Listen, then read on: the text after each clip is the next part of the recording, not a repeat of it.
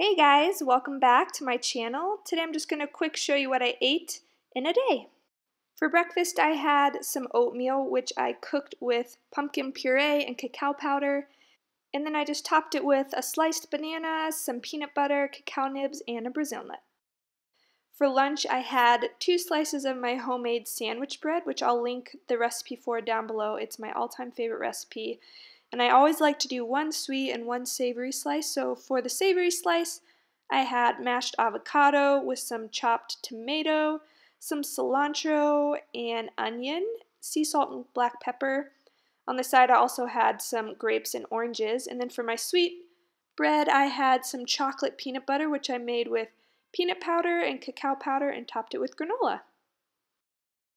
Then later for a snack, I had a chopped apple and one of my homemade Almond Joy brownie bites. I'll leave the recipe link down below so you can make them.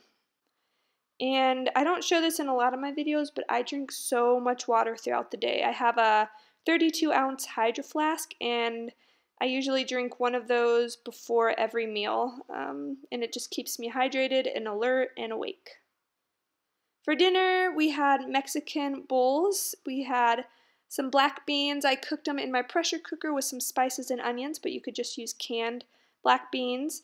Then I made some fresh salsa with tomato, cilantro, onion, and then I roasted some veggies in our oven um, just with some chili pepper. And then on top, which was the best part, had some avocado cilantro cream, I guess you could call it, with just avocado, cilantro, some lemon juice, and a little water to blend. So that was dinner.